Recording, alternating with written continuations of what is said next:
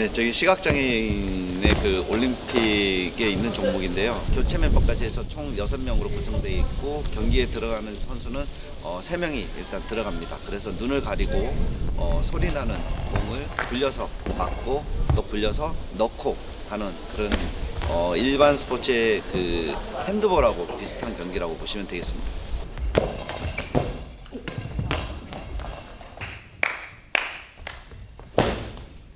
저는 이제 흔히 미수가 망막증이라고 뭐 우리 칠삭동이 팔삭동이 그렇게 표현을 하는데 7개월 만에 태어나가지고 인큐베이터에서 있던 과정에서 이제 어, 실명을 하게 됐고요.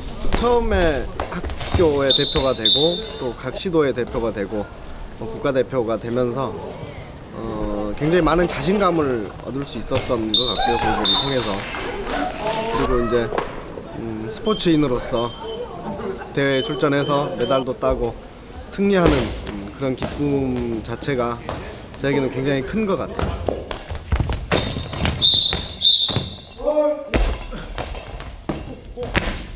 그 골볼 종목은 그 기본기가 굉장히 중요시 됩니다. 수비 자세라든가 아니면 공격할 때의 그런 자세들이 어, 부상과 연결될 수 있는 부분이 어, 많이 있습니다. 그래서 어, 기초 동작, 기초 훈련들이 굉장히 잘 이루어져야지 경기에서 어, 충분히 어, 부상 없이 할 수 있습니다. 내가 할게. 경기 시작 30초 전입니다.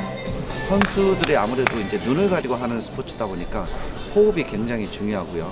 이렇게 움직임이나 이런 것들이 다 약속되어 있는 플레이가 나와야 되기 때문에 어, 거의 성, 승리의 요점 중에 어, 요건 중에 하나를 꼽으라고 그러면 팀워크라고 볼 수 있겠네요. 팀워크가 제일 중요하다고 생각합니다.